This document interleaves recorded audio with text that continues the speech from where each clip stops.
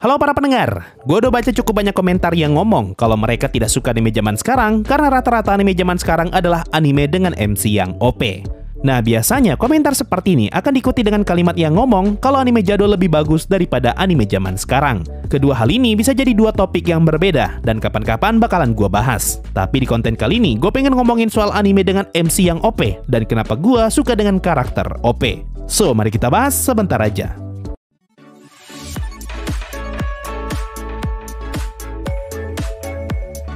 Sebelumnya gue pengen disclaimer dulu, kalau apa yang gue omongin di video ini belum tentu benar, karena gue nggak ngomong pakai data, melainkan ngomong hanya berdasarkan pemikiran dan pengalaman pribadi. Jadi jangan terlalu percaya dengan apa yang gue omongin. Oke, mayoritas MCOP biasanya gampang kita temukan di cerita fantasi ataupun isekai, dan juga tipe MC seperti ini dapat kalian temukan dengan mudah di berbagai cerita manhwa hunter ataupun manhwa tentang game. So, bisa dibilang kalau di zaman sekarang, karakter OP sudah menjadi sesuatu yang mainstream dan gampang banget untuk kita temukan. Beda halnya dengan zaman dulu, di mana mayoritas anime zaman dulu selalu jualan MC dengan gimmick Zero to Hero atau dari yang bukan siapa-siapa menjadi orang yang paling diakui. Contohnya seperti Naruto, One Piece, Bleach, dan berbagai macam judul cerita shonen lainnya. Nah, kalau zaman sekarang, cerita Jepangan semakin lama semakin banyak dan semakin luas. Dan sudah ada banyak cerita dengan MC yang langsung OP dari awal. Di mana mereka langsung mendapatkan kekuatan super kuat, sehingga mereka menjadi sosok paling kuat sejak awal cerita. Hal ini ngebuat musuh yang dilawan si MC jadi terasa lemah, dan semua yang MC lakukan jadi terlihat mudah. Nah, tahukah kalian, perkara ini memunculkan argumen kalau anime zaman sekarang sudah tidak lagi mengajarkan tentang proses. Makanya kita diperlihatkan MC yang sudah langsung OP sejak awal cerita. Sehingga ditakutkan hal ini dapat membuat mental para penontonnya jadi pemalas dan ingin segala sesuatu jadi serba instan. Nah, kalau menurut gua, argumen ini tidak bisa sepenuhnya dibenarkan. Karena gua yakin kita semua setuju kalau yang namanya hiburan tidak serta-merta menentukan sifat atau dapat ngebuat sifat kita berubah drastis. Contohnya gini, kalian semua pasti tidak terima kalau ada yang ngomong game tembak-tembakan seperti PUBG dan Call of Duty mengajarkan kita untuk menembak orang lain. Atau contoh lainnya, misalnya kita main game GTA. Apakah ini ngebuat kita semua yang pernah main game GTA jadi orang barbar yang nembak sembarangan di tengah kota? Nah, sama halnya dengan tontonan. Apakah ketika kita nonton Doraemon, anime itu malah ngebuat kita jadi cengeng sama seperti Nobita? Ketika nonton Samurai X, ngebuat kita pengen nebas orang. Atau ketika kita nonton mas-mas gergaji, ngebuat kita pengen langsung pegang dada orang sembarangan. Kan tidak, lalu apa bedanya dengan cerita MCOP? Sedikit banyak mungkin ada hubungannya, tapi itu tidak bisa jadi alasan utama untuk menyalahkan cerita dengan MCOP. Makanya ketika dibilang kalau MCOP ngebuat penontonnya jadi pengen segala sesuatu serba instan, gua rasa argumen itu tidak sepenuhnya bisa dibenarkan. Lagi pula, zaman sekarang tuh masih banyak loh anime dengan MC yang tidak OP. Karena jualan anime shonen dari dulu sampai sekarang masih tetap sama, yaitu MC dari Zero to Hero. Oke, sekarang gua bakal jelaskan alasan kenapa gua suka dengan cerita MC yang OP. Dari dulu nih, gue sering banget ngikutin cerita shonen di mana MC-nya selalu grinding dari yang awalnya lemah hingga jadi yang paling kuat.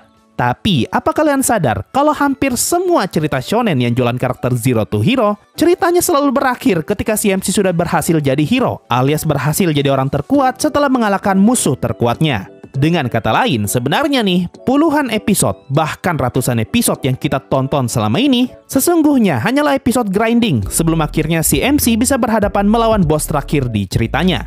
Nah, sekarang pernahkah kalian bertanya apa yang akan terjadi ketika MC di cerita shonen berhasil jadi orang terkuat? Kira-kira apa yang akan dia lakukan dengan kekuatannya sekarang? Apakah dia akan hidup damai atau malah bertarung terus sampai mati? Kalau butuh contoh, kira-kira apa yang akan terjadi ketika Bleach tamat dan Ichigo nikah? Apakah Ichigo akan buka kios? Apakah Ichigo daftar jadi pegawai? Atau Ichigo hidup santai?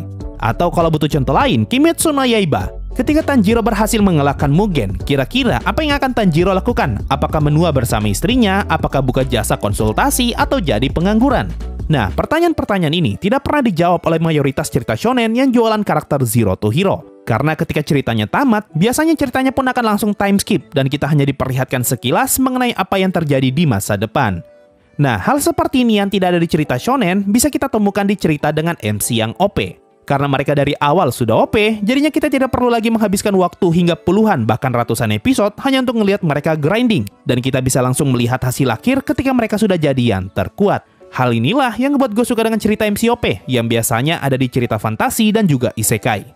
Gua tuh selalu penasaran apa yang akan dilakukan oleh suatu karakter ketika mereka telah menjadi yang paling kuat. Nah, ternyata rasa penasaran gua bisa terpuaskan ketika nonton anime fantasi ataupun isekai yang mayoritas MC-nya OP. Dari sini pun gua tahu ketika seseorang telah menjadi yang paling OP, ada beberapa karakter yang memilih untuk hidup tenang dengan mendirikan desa, berkebun, jualan, hidup tenang dengan keluarga, ataupun sekedar jalan-jalan mengelilingi dunia. Ada juga karakter yang milih untuk buka toko, buka apotik, ngebuat organisasi bayangan, ataupun menggunakan kekuatannya untuk melawan kejahatan. Bahkan ternyata ada yang malah jadi penjajah dan juga penjahat. Nah, semua cerita ini bisa tereksplor berkat MC-nya yang sejak awal sudah OP. Karena kalau MC-nya lemah, tentu akan sulit ngebuat mereka dapat hidup dengan tenang karena adanya gangguan dari pihak luar yang tidak mampu dilawan balik oleh si MC.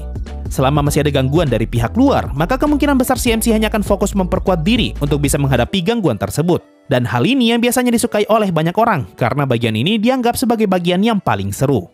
Nah, kalau dicerita dengan MCOP, biasanya ketika suatu karakter sudah berhasil jadi yang paling kuat, ceritanya sudah tidak lagi menarik bagi orang yang suka cerita seru, karena sudah tidak ada lagi musuh yang mampu bertarung setara melawan si MC.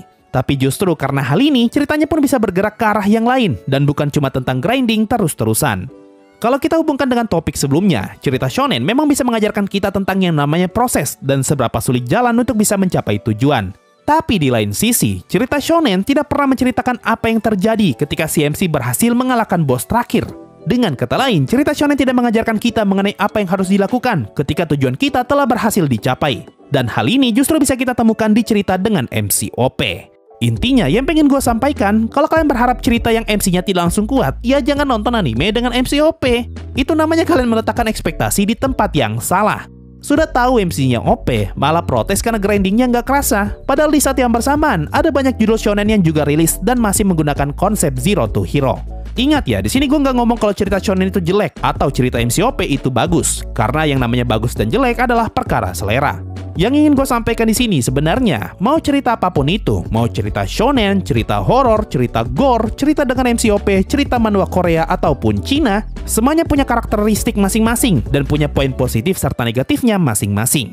Jadi, kalau kalian nggak mau kecewa ketika ngikutin suatu cerita, ada baiknya perhatikan dulu apakah kalian cocok dengan cerita itu atau tidak. Kalau menurut kalian gimana nih? Apa kalian tipe orang yang suka dengan MCOP dari awal? Atau kalian lebih suka MC lemah yang pelan-pelan jadi OP? Coba komen di bawah pendapat kalian. Makasih semuanya sudah mendengarkan, dan bye-bye.